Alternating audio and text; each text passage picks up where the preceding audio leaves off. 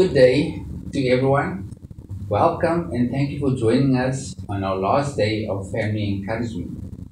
We pray you've been blessed as we have been presenting these messages to you, living the fruits of the Spirit.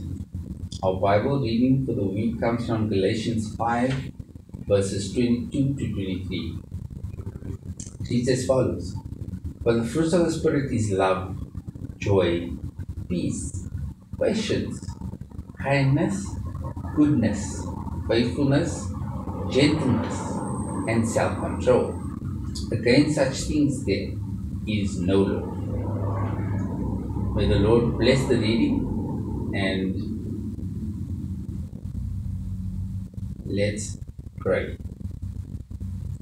Our dear Father, we thank you for another day where we can be able to spread some encouragement to those that need it, Lord. And we pray that the Holy Spirit will be near and dear to us and that will touch each one's heart that is listening to this message, Lord. Bless us and keep us safe, Lord, as we go through the rest of this day. It's humble prayer in Jesus' name. Amen. Doing our last reading is my wife, Charlene. Be blessed, everyone. Good day, everyone. Today we're speaking about patience, and the fruit chosen is the fig. Some facts about the fig. It's purple on the outer skin, shaped like a teardrop, but the taste is nothing to cry about. It is glossy and juicy and a delight, mainly found in Egypt, Greece, Turkey, and Morocco. It contains B complex, and they can be used both for medicine and dessert. The meaning of patience inability or willingness to suppress restlessness or annoyance when confronted with delay.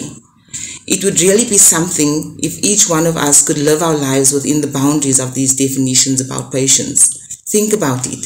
The relationship between a husband and his wife would be completely transformed instead of complaining and losing their temper or being irritated about things, they would be calm there would be a greater peace in our homes and our children would, would have the joy and blessing of growing up in an environment without anxiety. Wouldn't that be something?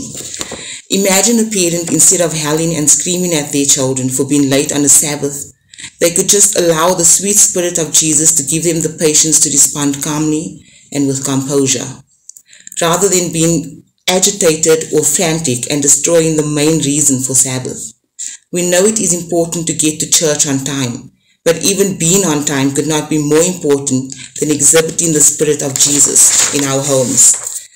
This fruit of love called patience is something we need to really pray for during this week. While some might think developing this kind of patience is impossible based on their current family situations, we hasten to remind you what Jesus has to say about this kind of thinking. With people it is impossible, but not with God, says Jesus, for all things are possible with God. Mark 10 verse 27.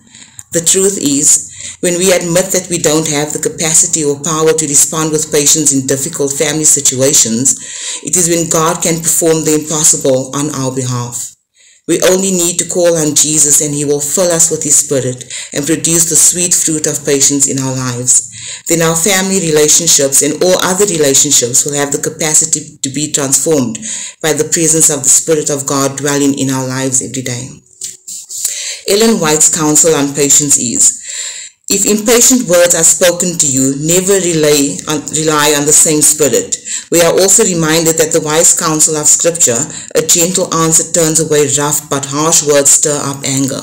Proverbs 15 verse 1.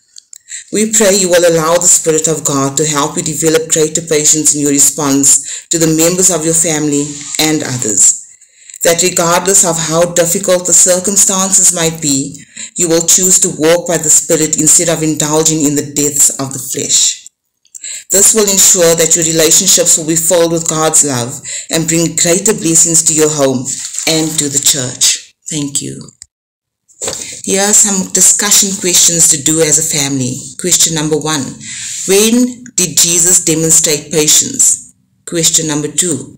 What can we do to be more patient with each other in our homes? We hope that you have been encouraged to spend some time together in prayer and studies, and we especially pray that this week has encouraged you as individuals and as families.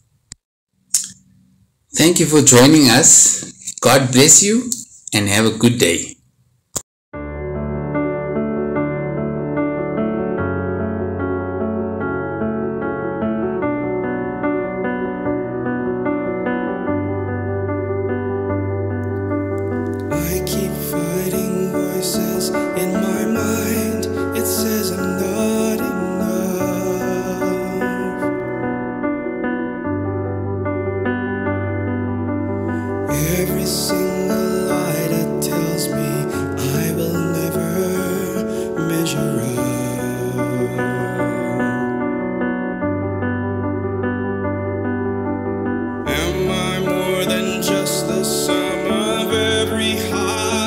surrender